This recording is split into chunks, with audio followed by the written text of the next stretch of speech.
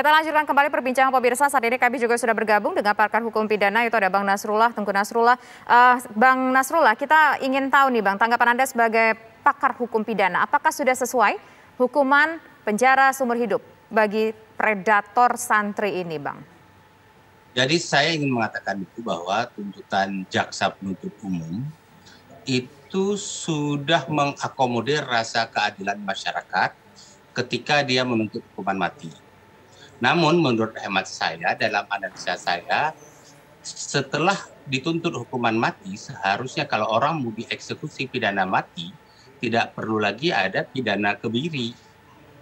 Ya kan? Dia akan akan mau pidana mati. Tidak akan keluar lagi dari penjara terus untuk apa pidana kebiri. Pidana kebiri itu hanya diperlukan kalau orang yang dituntut pidana itu akan keluar lagi dari penjara sehingga untuk mencegah dia melakukan perbuatannya lagi dia disuntik uh, kebiri dengan zat kimia tertentu. Nah, mm -hmm. Itu itu satu sisi pemahaman saya dari sisi logisnya pen, penerapan sanksi pidana. Jadi mm. penerapan sanksi pidana pun harus ada logis, logika hukum penegakan hukum. Nah, kemudian uh, terkait dengan tuntutan pidana mati saya sependapat untuk kasus-kasus tersebut. Tapi persoalannya adalah apakah terkait dengan rasa keadilan masyarakat, rasa keadilan hukum. Jadi kadang-kadang rasa keadilan masyarakat itu belum tentu sama dengan keadilan hukum, ya. Rasa keadilan masyarakat bisa saja masyarakat ya udahlah ada ambil dipotong dicincang-cincang. Itu kan rasa masyarakat. Tapi hukum kan tidak begitu. Nah, Kemudian rasa keadilan hukum adalah pada saat rasa keadilan hukum itu di, uh, diterjemahkan dalam teori, maka rasa keadilan hukum itu bisa kita terjemahkan secara objektif. Hmm. Tapi ketika dikembalikan kepada pribadi-pribadi manusia, keadilan hukum itu bisa subjektif. Nah, keadilan menurut jaksa penuntut umum keadilan hukum menurut jasa penuntut umum itu adalah yang terdakwanya itu harus dijatuhkan pidana mati. Hmm. Tapi ketika hakim menilai fakta persidangan, kemudian keadilan dalam penegakan adil menurut hukum, maka menurut hakim hak uh, pidana yang tepat dijatuhkan itu seumur hidup.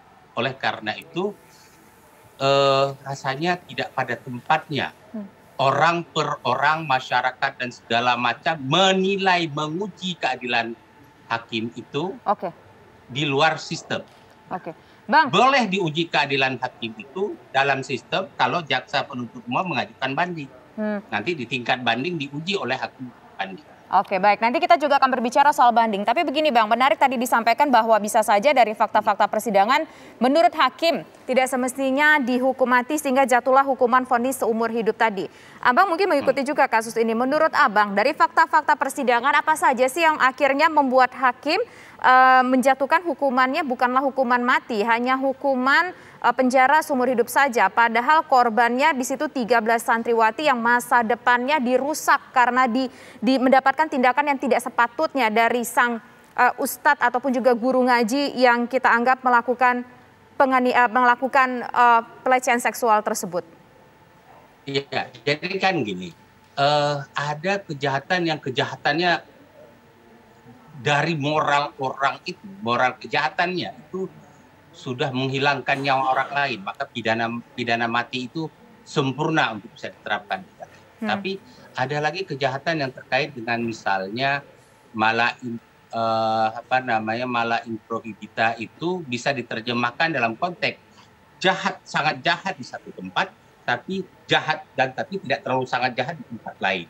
Maka mungkin di hakim ini dia hakim ini melihat kejahatan ini tidaklah layak kejahatan seksual itu tidaklah layak diterapkan pidana mati. Jadi kadang-kadang filosofi hukum dari penegak hukum itu bisa saja di, di, ketika dipadukan dengan keadilan maka bisa saja berbeda. Jadi saya saya sendiri melihat case ini eh, dengan perilaku si terdakwanya ini ya mungkin layaknya memang pidana mati ya, tetapi hmm. saya juga tidak akan menyalahkan jika hakim menganggap karena dia menilai loh Pak, ini hakim tingkat pertama itu mendengar semua fakta persidangan.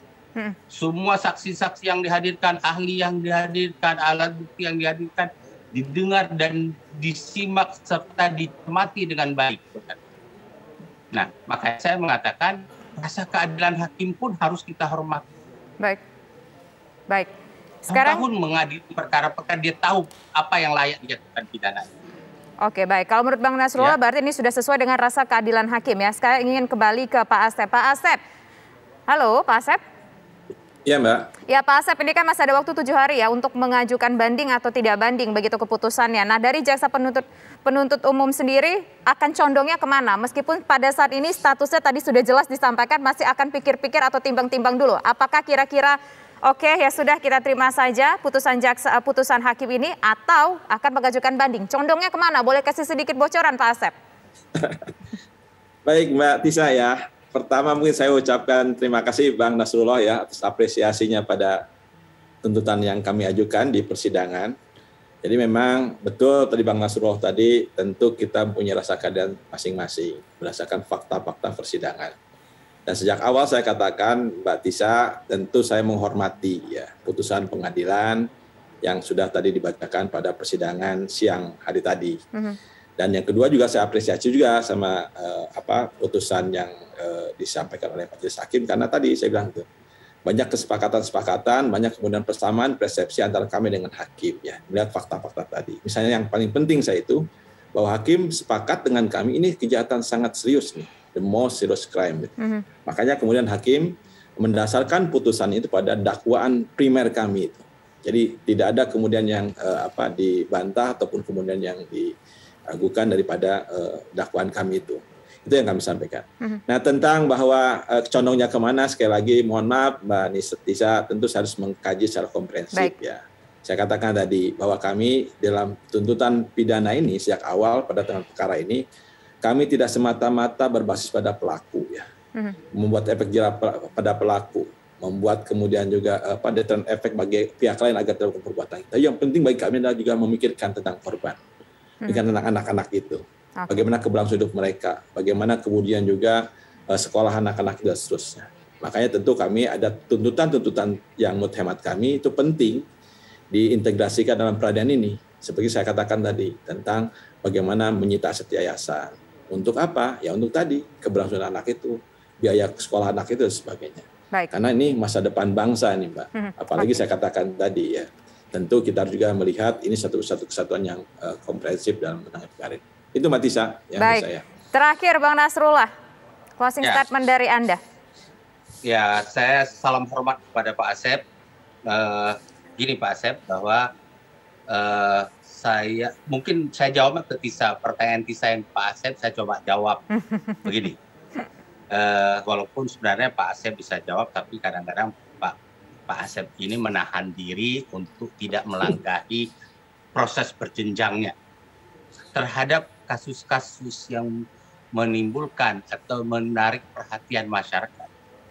Proses tuntutan termasuk langkah hukum, banding tidak banding, kasasi hmm. tidak kasasi, itu harus dibahas secara berjenjang. Dari tim penuntut umum masuk ke Kasipido, masuk ke Kajari, sampai ke Aspidum, masuk Baik. ke Kajati, nanti bahkan sampai ke Kejagung. Paling tidak saya rasa Pak Asep ini akan mohon pendapat sampai ke Jampidu. Nah, jadi pertanyaan Tisa, saya jawab tadi bahwa belum pas belum bisa dijawab oleh Pak. Hmm, hmm, hmm. Tentu tentu okay. ini harus sampai Jampidu minimum ya. Baik. Itu dalam pemahaman saya terkait kasus-kasus yang menimbulkan perhatian masyarakat. Okay. Tapi saya sekali lagi mengatakan, baik putusan tuntutan jaksa penuntut umum maupun putusan hakim telah memenuhi rasa keadilan. Baik. Kita dapat poinnya Bang Nasrullah. Kita lihat saja bagaimana kira-kira nanti putusan dari uh, Kajati Jawa Barat akankah kira-kira mengajukan banding atau tidak? Tentunya memang ada proses yang harus diikuti. Kita lihat saja seperti apa. Dan terima kasih sekali lagi Pak Asep dan juga Bang Nasrullah atas waktunya sudah berbincang bersama kami. Selamat sore.